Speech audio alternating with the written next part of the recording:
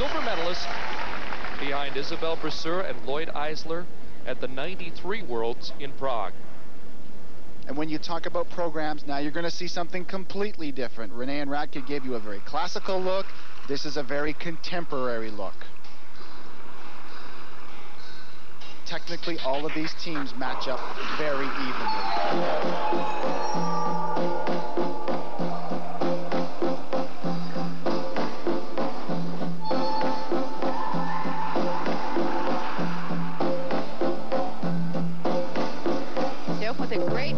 twist.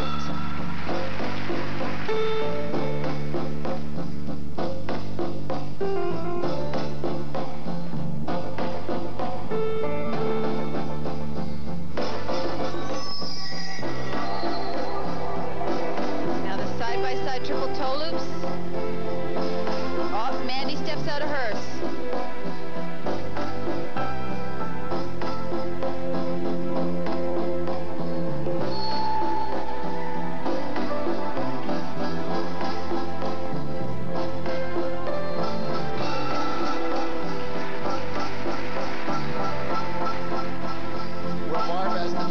also missed the side-by-side -side triple toe loops. We've questioned all week whether there's been too much pressure on the jumps. It's going to be interesting to see if that indeed is the difference in the championship here.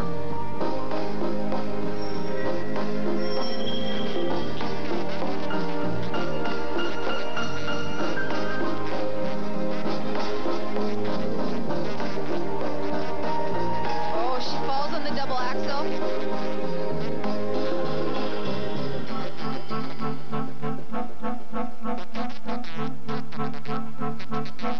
Depending on how the Russian also ambush Bushkov's escape, that could send them off the podium.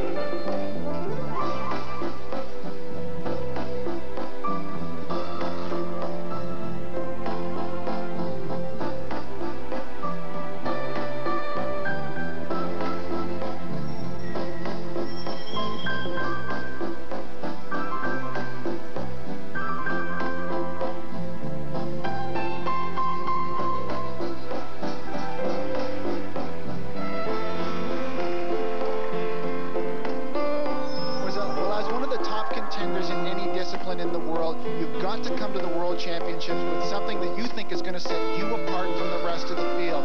Mandy and Ingo have decided that this contemporary program would set them apart. However, when you combine it with the mistakes that they've made out there tonight, I put it in the same category of Shishkova Naumov. To me, it's not a World Championship winning performance or program. Well, for me, it's skated at all one speed. There's no change of pace at all. Well, a good barometer is often the audience, and the audience here hardly gave them any applause throughout the entire program. None of the magic we saw in Dortmund for Mandy Wötzel and Ingo Steuer. Back with their marks after this.